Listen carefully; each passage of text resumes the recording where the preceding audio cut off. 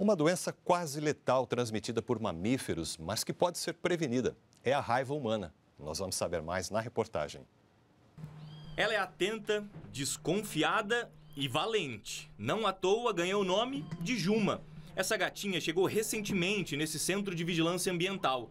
Como foi resgatada da rua, os veterinários ficaram de olho no comportamento para saber se ela não tem raiva. O animal fica inquieto, muitas das vezes ele muda até o latido, ele deixa de comer e de beber porque a musculatura da, da face está paralisada, entra em paralisia e posteriormente a morte. Vacinação em dia, agora o filhote está para adoção. Esse cuidado é fundamental, porque mamíferos, como a juma, podem transmitir raiva para outros animais e também para seres humanos, pela saliva, por meio de mordidas, arranhões e lambidas.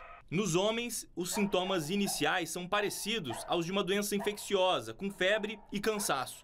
Por isso, ao ser ferida, a pessoa deve ir a um hospital. Imediatamente, ela deve lavar o ferimento com água e sabão é, e procurar uma unidade básica de saúde para avaliação de um profissional se é indicado ou não a profilaxia, é, que é, no caso, a vacina ou o soro antirrábico. Nesse ano foram confirmados cinco casos de raiva humana no país. Todos evoluíram para óbito.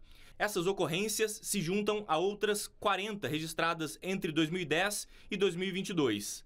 Até hoje, só duas pessoas se curaram da doença no Brasil.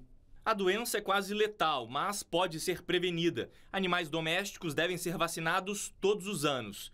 Caso encontre um animal com sintomas de raiva, procure a vigilância ambiental de sua cidade. Pessoas com risco de exposição permanente ao vírus da raiva, como veterinários e biólogos, também devem se imunizar. E enquanto não acham um lar, a Juminha vai ficando por aqui, bem cuidada e sem raiva.